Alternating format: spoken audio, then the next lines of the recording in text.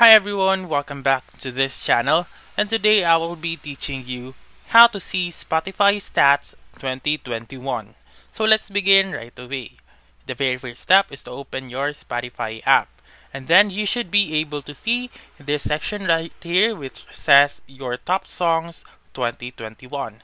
If you are not able to see that section, what you're going to do is to simply go to your browser such as Safari or Chrome.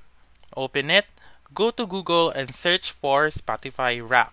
Simply click on the link right here. Click on it and then it will automatically open your Spotify. And then if it will not automatically open your Spotify, you just simply click on download Spotify and then it will redirect you into this page or section. And now you may see your um, Spotify stats 2021.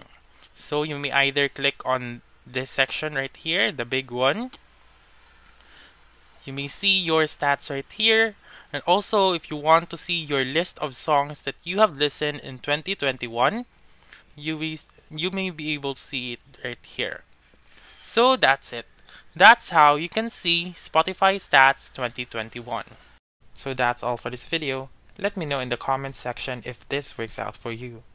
For more helpful tutorials like this, please subscribe to our channel and don't forget to click that notification bell. Thank you for watching and have a wonderful day.